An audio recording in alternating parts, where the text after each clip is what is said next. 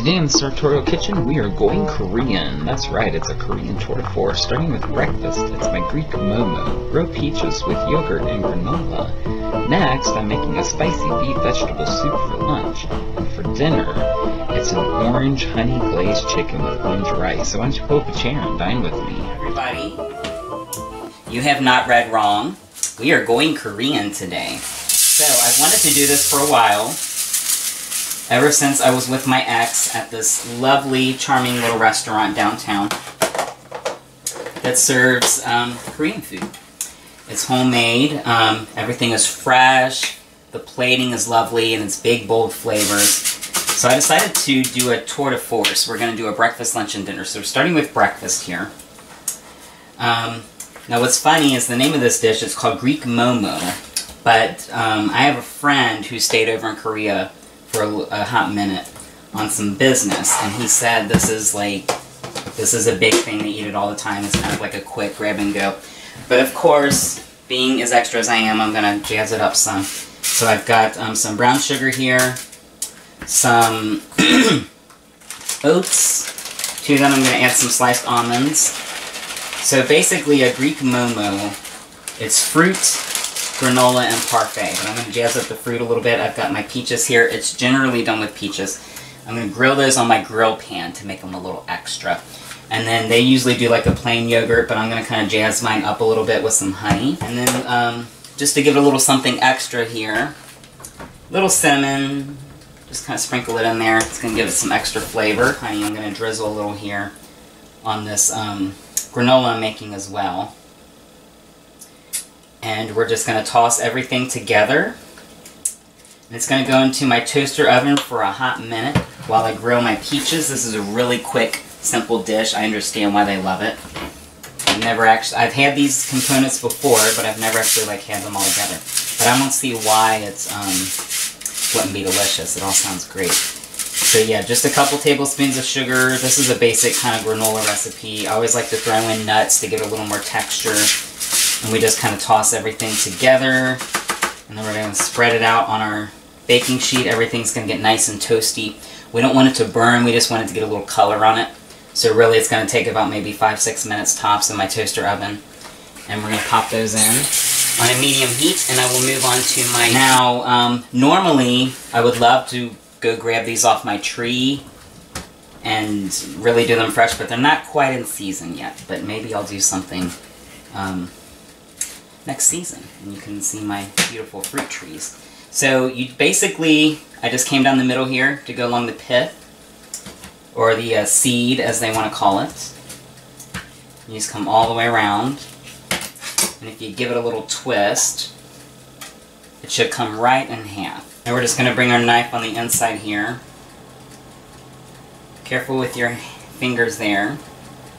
And just kind of come in here and kind of get behind that seed, get into the fruit, and pop that little bugger right out. Alright guys, got my seeds out. I'm going to just lightly set these onto my skillet. I've got that on a low heat. I don't want them to burn. I just want them to get nice and um, get those nice kind of ground marks on them. If it's too high, the sugar is going to caramelize too soon. The natural sugars of the fruit. And it's going to become bitter. So I'm just going to kind of let those go. My granola is still working. So we're going to move on to my yogurt. So like I said, I've just got some plain Greek yogurt here. That's normally how they do it. Um, I'm not a huge yogurt person to begin with. I like to have a little something in my yogurt, some kind of fruit or some kind of sweet component. So I'm just going to drizzle a little of this honey in here. This is just some uh, clover honey. I'm going to do about a teaspoon, I think, will be good. I'll just come in here and give that a little stir to get it incorporated. And what's nice about the yogurt, it gives you a little tang, um, some slight acidity, because a lot of the other things we have going on is it's um, nice and sweet. It's kind of nice to have something a little different. Um, and then you're getting more of your food groups in there. Check this out, nice and golden brown. I'm just going to uh, give this a little toss. Hmm. So like I said, it's got some color to it, but it's not too done. And it's going to be a little sweet from the brown sugar and the honey. It's going to add some nice texture there. So I think a uh, bowl is going to be best for this. And I'm just going to grab the fruit. It should be nice and tender. I think two is good. We'll save the others for a rainy day. And I just want to kind of show you guys the peaches first. See those lovely grill marks across? Mmm. And you get that caramelized sugar kind of thing going on. Now we're going to come in, we're going to get a little bit of our sweetened yogurt. I'm just going to dollop that right on top. It may melt just a little bit. The uh, peaches are still kind of hot. And then I'm going to come in and scrape up some of this um, granola topping with the nuts and the, the oats and the sugar.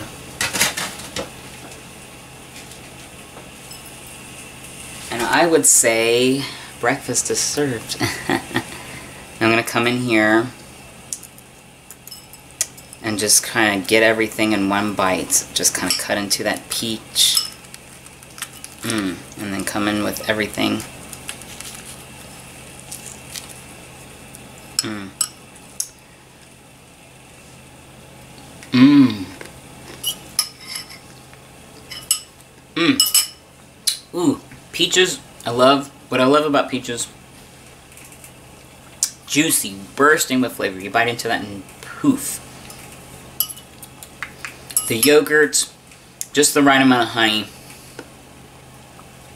Gives you that kind of sweet, acidic kind of thing. And then you can, right now, I'm crunching into those oats and almonds. Mmm. Mmm.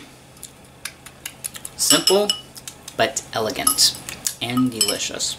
Welcome back, everybody. So we had breakfast. Wasn't that fun? And now we're moving on to lunch. I'm making a spicy beef vegetable soup. I've got some fresh ingredients here. I have some canned ingredients. I have my aromatics, my seasonings. It's going to be a really bold and flavorful soup. And um, like I mentioned earlier, the difference between like Korean cooking and um, other styles of Asian cooking, it's all about presentation and it's all about bold flavors. And let me tell you, this soup lands an A plus on both. This is another one of those dishes um, I had once before at this quaint little Korean restaurant downtown. First time I had ever been there. And it's um, my ex's, it was his favorite um, little restaurant. And that's the first time I ever really tried Korean food. And, you know, I like to broaden my horizons and I love to try new things. And, you know, I was pleasantly pleasantly surprised. And normally I dice my onions this time. Um, I did little round sliced. That's going to go right into my soup pan. And I want those to cook down and get nice and caramelized. And I'm going to let those cook for a little bit. While I do, I'm going to move on to my mushrooms.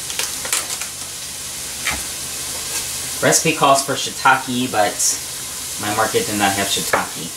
But this mushroom will do, um, thing about the mushroom, it's kind of like a sponge. It's going to soak up a lot of flavors. It's going to add some nice texture and some nice meatiness to the soup. And it's going to play nicely with the beef and all the other flavors I have going on.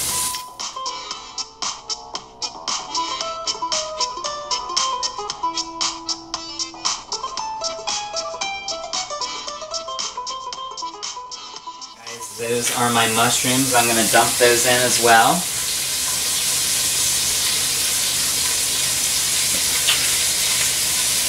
Now we always season in layers here, so I'm going to go ahead and come in here with some salt. and some pepper. And I'm going to give that a stir. Those onions are already starting to caramelize nicely. I'm going to add just a hair more oil because the mushroom is are really going to soak up that oil and um, everything's going to burn. I don't want that to happen. So I'm going to add just a little more oil. I'm going to saute those around, let those mushrooms kind of cook down.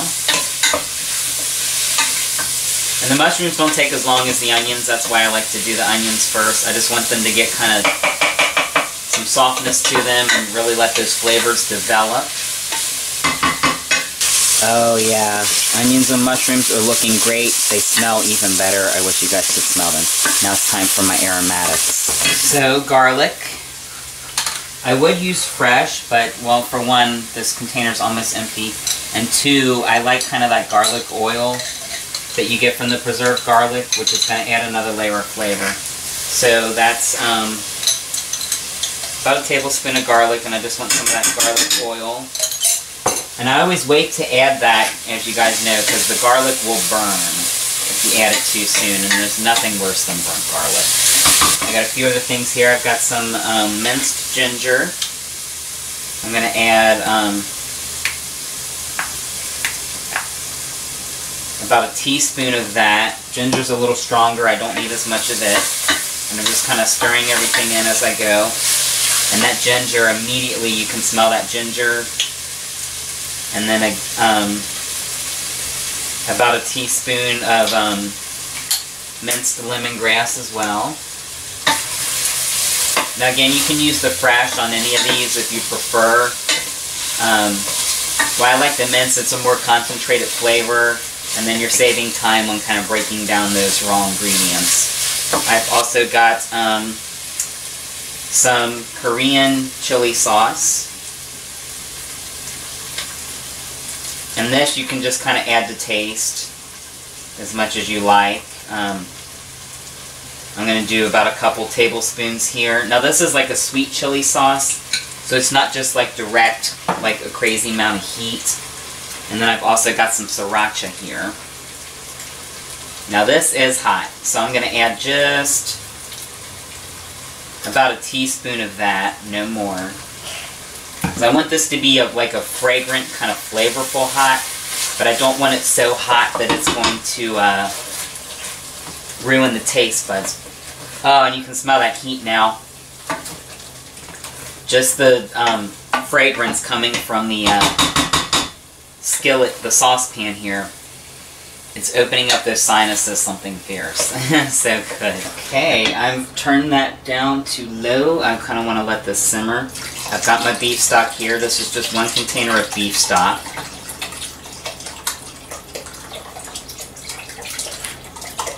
And this is fortified, so it's got um, a lot of kind of good flavors in it already. And it's going to really go nicely with um, the other flavors of the soup here. And then I've got some things to add in at the end that are going to give it a little more body, a little more fullness. It's just going to be so good. Ooh, that soup has come to a boil. Smells amazing. Lots of aromatics going on. Everything's kind of speaking to me. So I have three things here. And these have already been processed, so I'm going to put them in last. They just need to come to temperature. And these are the rest of the veggies for our veggie soup. So I've got some water chestnuts here. And I've already opened these and kind of drained the liquid. And I'm just going to kind of dump that right in. And the um, thing about the vegetables with this soup, they're a little different. They're going to give us some different textures and some different flavors. Um, and then this is just a um, can of bean sprouts. Bean sprouts are a big thing in Korea. Another thing that my friend was telling me about. And lastly, I have some roast beef here. Now you know me, I'm all about um, canned meats when I can. so no, seriously, this is, um, it's shredded beef, so it's like already shredded, which is what we need for this. And instead of fixing like a roast or something just to use for this little soup, you know, perfectly acceptable. And it has some nice rich beef flavor. And the thing is, it's gonna um, soak up a lot of the flavors of this broth anyways, so you're really not missing much. And while that happens, we're going to do my scallions here. I always cut off the kind of tops because they're a little, um, sometimes they're a little wilted and just kind of not what I'm looking for. And then I'm just going to come in and just kind of go down and pull away. I like the, uh, the tops are good, but I also want some of the uh, bottom here because that's going to give me a little more kind of texture. Now we've got those onions in there already, but um, the thing about scallions, they have a little sweetness to them and a little bit of kind of kick. And these are going to be raw because I'm slicing them now, so it's going to give us a different texture than the other onions. And I'm not going to throw them into the soup, I'm just going to kind of garnish my soup with them. So there we go, that is our scallions. Alright guys, I'm turning this off. Everything should already be cooked through. Now we're going to switch from our wooden spatula to our soup ladle. And I've got my bowl right here. And you can see all of those wonderful ingredients there. The beef, the onions, the sprouts. And you can see on top um, those red colors there. That's all the heatness that we've added to the soup. Oh, so good. And then I'm just going to garnish here with a little bit of uh, my scallions. And there you have it, spicy beef vegetable soup.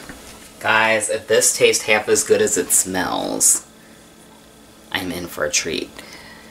Now, I'm no Korean cook. I just cook what I know. These are flavors I've experienced before. I'm just kind of throwing my own thing together, but let's see um, how I did here. Mmm. Its heat. Mmm. Mmm. So the beef broth, it's really rich.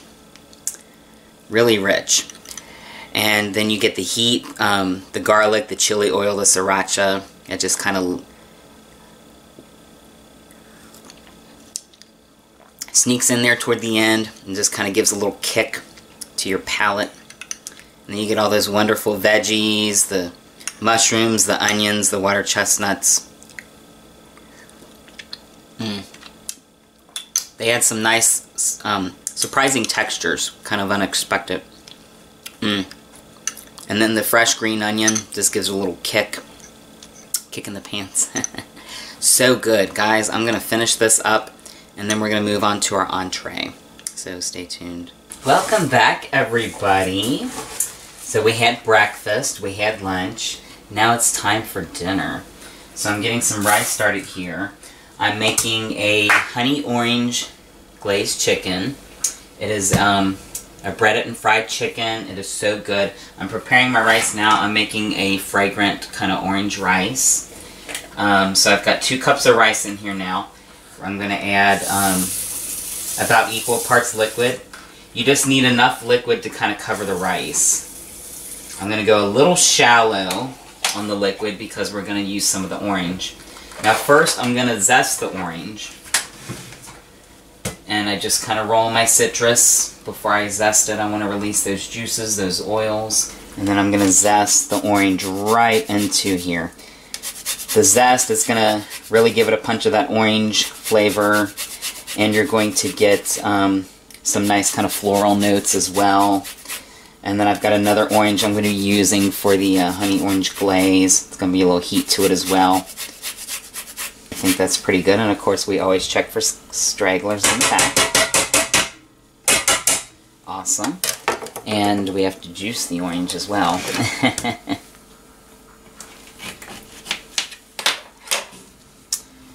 and squeeze, squeeze, squeeze, squeeze, squeeze.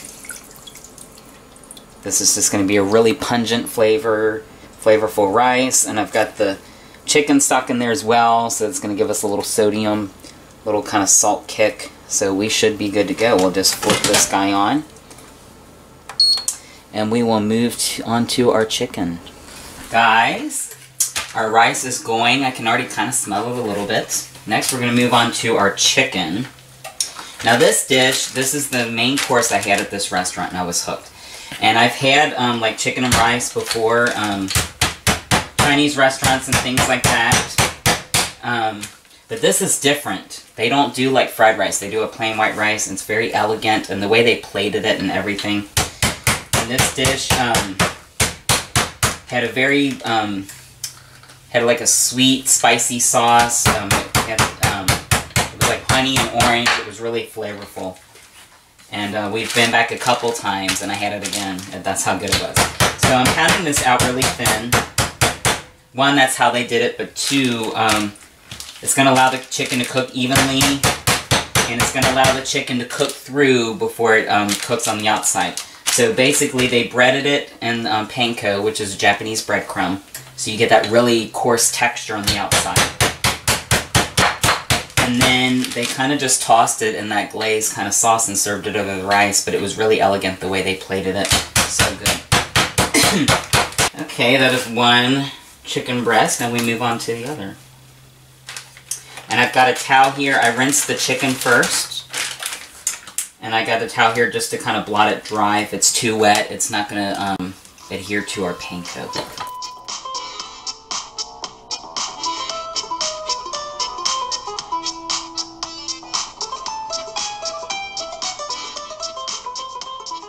is our second breast and my arm workout for the day.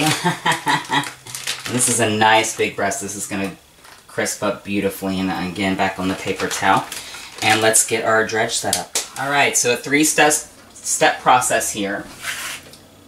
Make sure my oil is good and hot first. And it sounds like it is. Now, these are pretty big breasts. I'm going to do one at a time. If I overcrowd my pan, they're going to steam, they're not going to fry, they're not going to be any good. So I've got some seasoned flour here first. I just took some flour, threw in some salt and pepper. I don't want to get too complicated with the flour. I want all the seasonings to be in that glaze that I'm making later. And the flour is just a base coat, just to kind of give the eggs something to kind of stick to. And turn that over and then right into the panko. Ooh. Now this, I'm going to really press in there deep because I want all the nooks and crannies of this chicken breast to uh, get the panko on it. And if you have to, kind of grab some and work it in. Mmm, so good.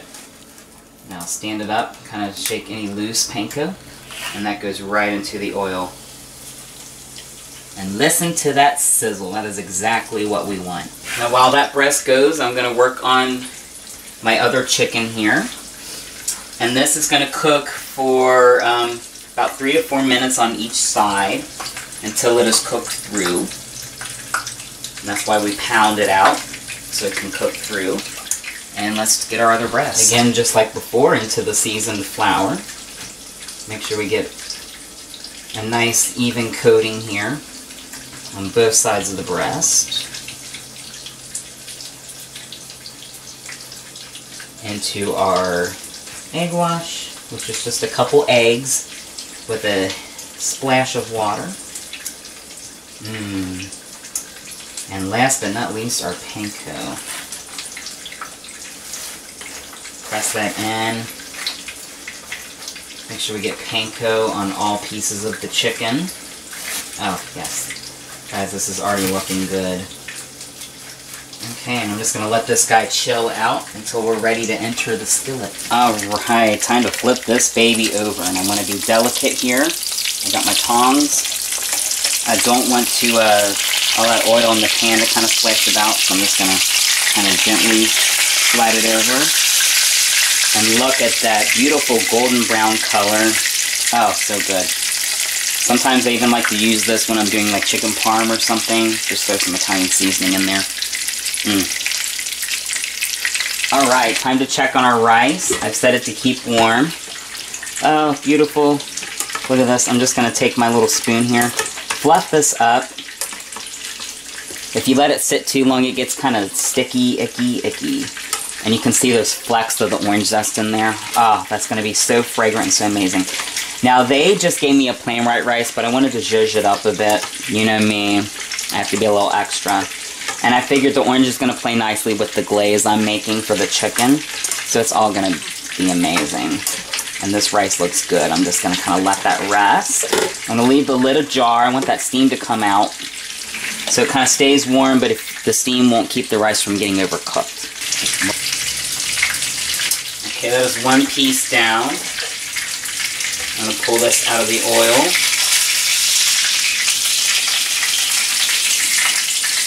And just kind of hold it there. We don't want any grease coming with us. I'm going to set that on the towel. I got another towel here to um, kind of drain the grease. And we'll throw this next guy in. Mmm. Beautiful. Oh. Guys, I can't wait. And I'm turning my skillet off. We're going to gently get this guy out of here. Again, just kind of hold it up, let any grease drain off. We're just going to set it on this paper towel to drain any additional grease. And while those kind of chill out, I'm going to work on my glaze. So there's three things to this glaze. Another orange, some honey, and some Korean chili flakes. First, I'm going to start with my orange here. Give it a little roll, just like before. And we're going to cut this in half. I only need half of this orange. So I'm not making a ton of glaze here, just enough for my two pieces of chicken. So I'm going to set that aside. I'm going to squeeze as much of this orange as I can you should be able to get about a fourth a cup or so. And that's pretty good. Now I normally don't do this um, zesting after I've cut into it, but I just only need a little bit of zest. And I'm just going to kind of come around and really, um, not a lot, because again, we're not making a whole lot of um, the glaze here. That's probably um, enough. Just enough to give it some fragrance. And I'm just going to kind of run my finger along here.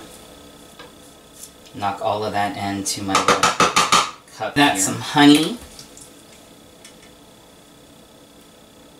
Also, um, close to about a fourth a cup or so. It's going to be about equal parts honey and um, the orange. It's going to be nice, kind of sweet, citrusy. And then for a little heat, I've got the Korean chili flakes. I'm going to really, I'm going to do this into my hand first. So I want to control how much of this I get. I only want maybe about an eighth a teaspoon, if that even. I think that looks pretty good, and I'm just going to throw that down in there. I don't want it too hot. It's just supposed to be a subtle heat, just kind of give it a little something. And then I'm going to take my itty bitty whisk. And I'm just going to come in here and give that a stir. Incorporate that honey into the uh, lemon juice, or I'm sorry, orange juice. And that orange juice is kind of kind of thin out the honey a little bit, so it's not as sticky and you can kind of work with it. And that is already looking amazing. Now we can plate our food. Restaurant, I think they toss the chicken in the sauce, but I think I'm just going to kind of drizzle it over top. But first I want to um, slice my chicken. And you can see it's beautiful white on the side. It still has some give to it so it's not overcooked. It's nice and juicy. Got my bowl here. I'm just going to get some of this rice out of here.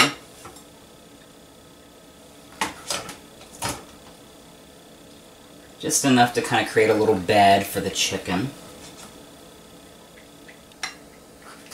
And I want you to see that rice. You can see all those little orange bits in there from the zest. Mm. Now for the chicken.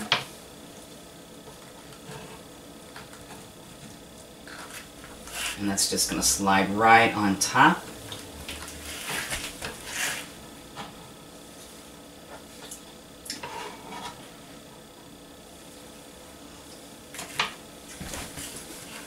And then last but not least, our glaze.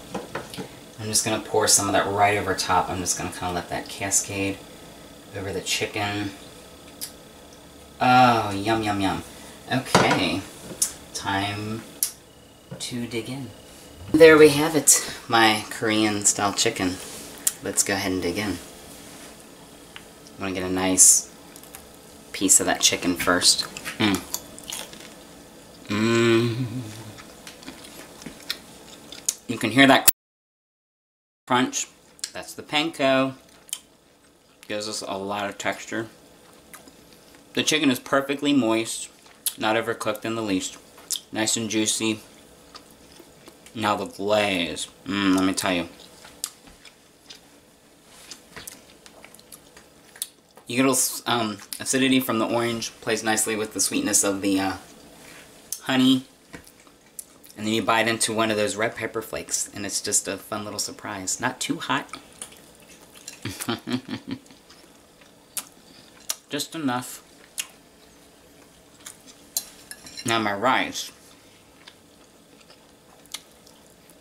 Mmm. Rice is also perfect. Slightly al dente, just has a little bite to it. I hate mushy rice. Mmm.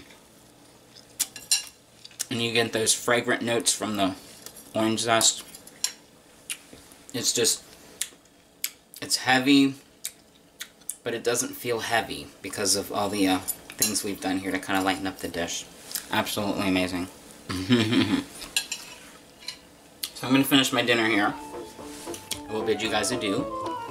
But uh, please like and subscribe. Stay tuned for the rest of the season. And until next time, bon appetit.